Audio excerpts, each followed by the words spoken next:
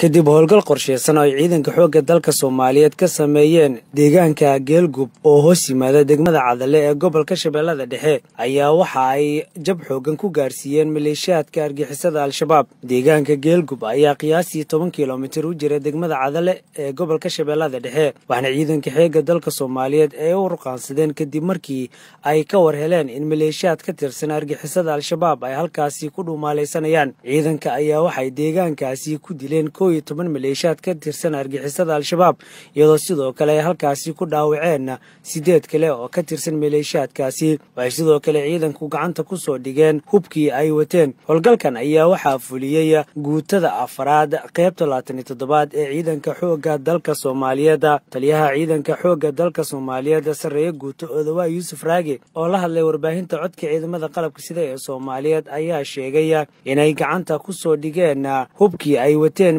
maleeshiyaadkii ka tirsanaa argixisada al-shabaab ee deegaankaasi geelgub lagu qaarijiyey. Taliyaha ciidanka xoogga dalka jenaraal odawaa yuusuf raage ayaa intaasi ku daray in ciidanka xoogga dalka soomaaliyeed ay weli sii baacsanayaan firxadka maleeshiyaadka argixisada al-shabaab. Deegaanka geelgub ayaa waxa uu hoos yimaadaa degmaxeebeedka gobolka shabeellada dhexe ee cadale waxaana uu toban kilomitir u jiraa degmadaasi iyadoona ciidanka xoogga dalka soomaaliyeed ay halkaasi dhowr jeer khasaarooyin kala duwan ku gaarsiiyeen maleeshiyaadka argixisada al-shabaab